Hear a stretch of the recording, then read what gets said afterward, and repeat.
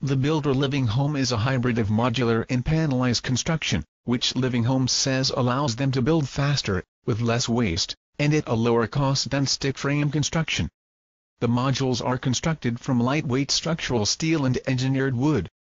The four modules that make up the home's basic framework were constructed off-site and shipped to the Las Vegas Convention Hall. Upon arrival, the four modules were set into place via forklift and then the home was finished using pre-cut panels.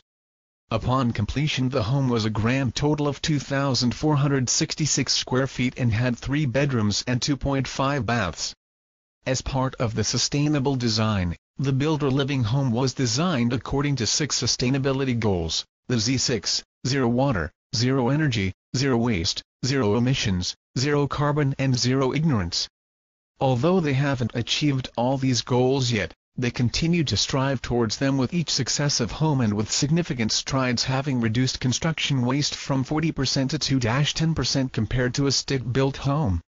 As to the particulars, energy-efficient appliances were provided by Whirlpool KitchenAid, water-efficient fixtures come from Kohler, and high-performance windows with composite wood recycled frames were from Andersen.